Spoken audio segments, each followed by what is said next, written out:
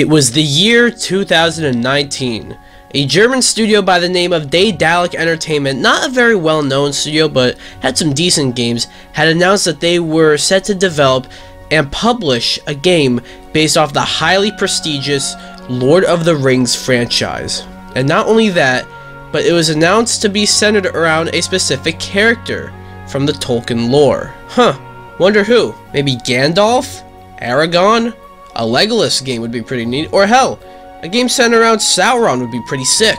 But who needs any of those losers when Gollum exists? Yeah, definitely a strange choice to make a big action adventure single player stealth game based off of an IP with a wide selection of interesting characters to make a game around, only to choose possibly the most limited of those characters.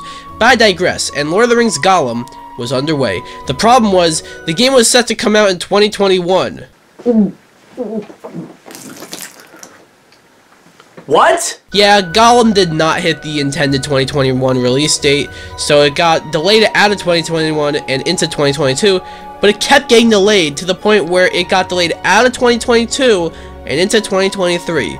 But above all odds, on May 25th, 2023, Lord of the Rings Gollum was released and was instantly labeled the worst game of the year. Okay, come on. How bad is it really? This came out, like, pretty soon after Redfall did, and I remember everyone saying that that was the de facto worst game of the year. It's also not like it was made by Game Mill Entertainment or anyone like that. So, once again, how bad can it really be?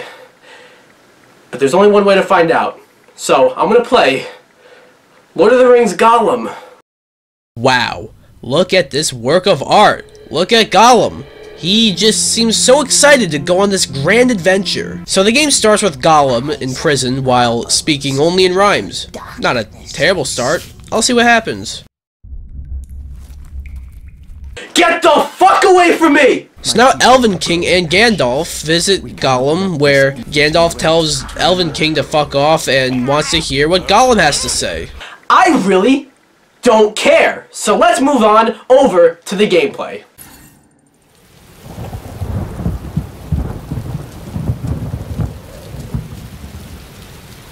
Well, you know what they say. Be careful what you wish for. You know, I can mention just how strange this is already, but I'm going to mention the visuals. And the obvious thing to say is how bad it looks. And yeah, it doesn't look good, but I'm going to say something somewhat controversial. This game almost looks good.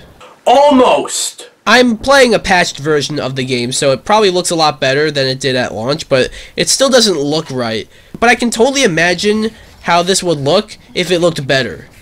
You get what I'm saying? Press R2 and X for a far jump. Oh, so this is what's gonna happen. So I have no way of proving this, but the controls, how do I put it, um, uh, they don't always work. Like right there, I pressed R2 and X to do the far jump, but the game just said, not fuck you, dude. And it's really weird because I tried it again, and it just works. Oh, I see you over there, Lord of the Rings Gollum. You're one of those games who only works when you want to. You don't wait for nobody. Nobody! Oh boy, gotta make this jump. And thus, that is the story of Lord of the Rings Gollum. A story of tragedy. If only. So I've made it to this cutscene, and you see what I mean when I say the game almost looks good? I can imagine a better looking version of this game, but then look at fucking Gollum! Wow, more climbing. Cool. Because when the idea of a Gollum game came up, I said that if the only thing you have the player do is not climb, I'm not gonna be there. Okay, fine. I shouldn't say that climbing's the only thing you get to do. Not at all, actually. You know, you get to run, you get to jump.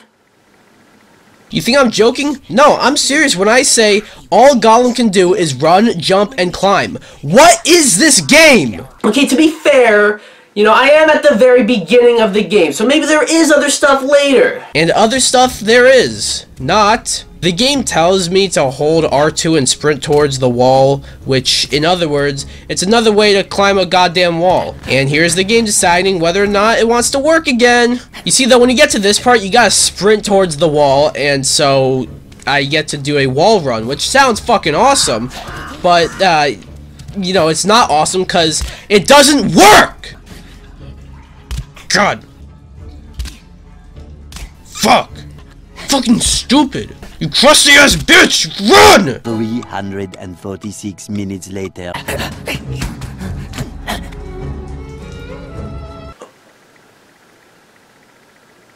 What the fuck? Believe me when I say I did nothing different. You don't want to know how many fails I had to cut out. But once again, the game just decided to work randomly. Holy shit. I forgot the lights.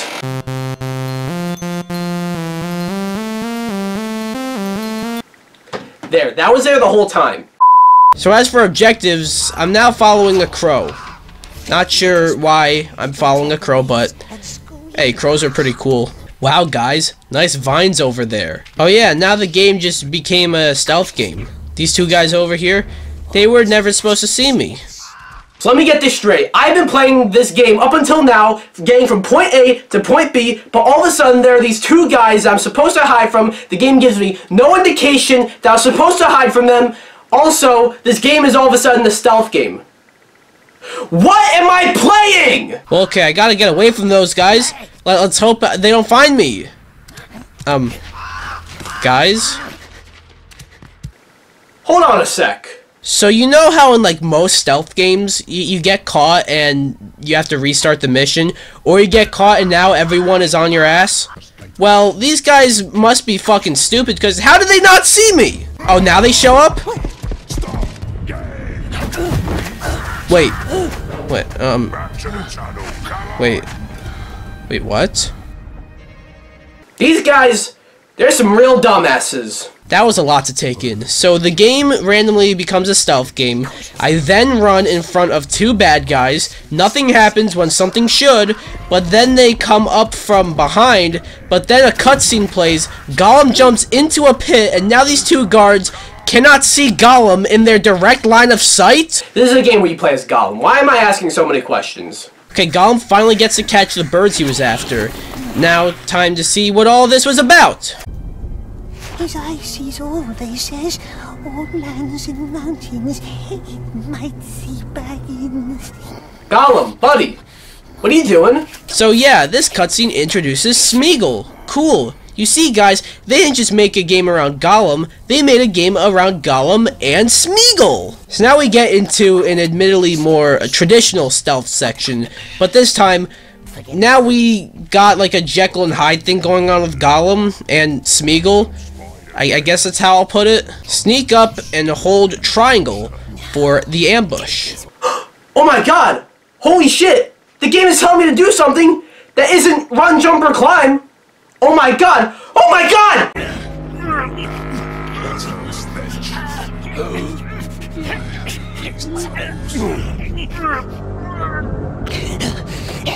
You know, I didn't think you had it in you!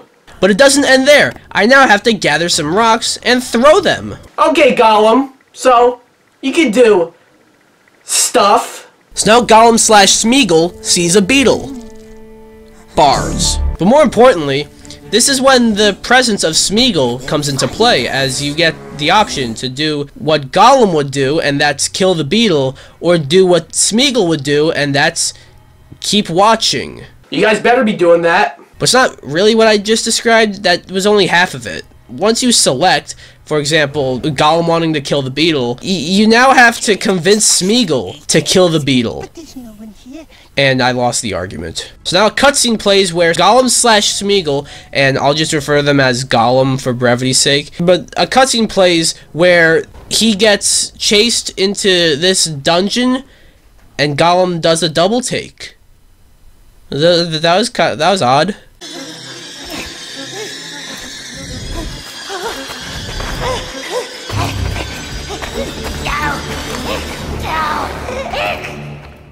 Oh no!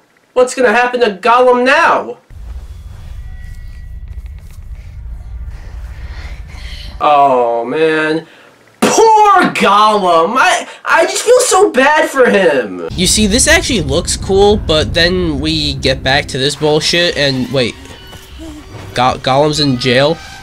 again? I'm sorry, I can't keep playing, you know. I know I've asked this so many times in this video, but what even is this game? Right down to its concept, this game is flawed. You take a franchise like The Lord of the Rings, an IP with an endless amount of characters, and you make a game around fucking Gollum. You know, probably written to be the most defenseless of all characters. Why was this game delayed out of 2021 and still looks like this? Why are the controls often really unresponsive? Why is the story so boring? Why are the quests designed like a game from 2007? Why was this $60 at launch? Why did Daedalic post an apology written by ChatGPT where they said Lord of the Ring twice and not Lord of the Rings? Why did Daedalic mistreat and overwork their employees? Why did Daedalic shut down? But actually, I kind of just told you all the reasons why they shut down. Yeah, checks out.